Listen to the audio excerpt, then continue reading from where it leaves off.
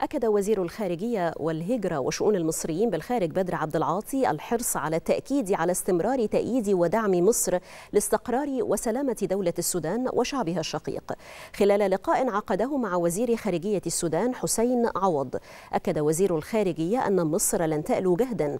من أجل مساعدة الأشقاء السودانيين مشددا على أهمية أن تعمل الدول والمنظمات المانحة على الإسراع بالوفاء بتعهداتها لدعم السودان ودول الجوار المستقبلة للاجئين. من جهته قدم وزير الخارجية السوداني الشكر لمصر على التسهيلات والخدمات التي تقدمها للمواطنين السودانيين منذ بدء الأزمة. بما في ذلك الخدمات الصحية والتعليمية بالإضافة إلى الجهود والمبادرات المصرية الرامية لحل الأزمة في السودان.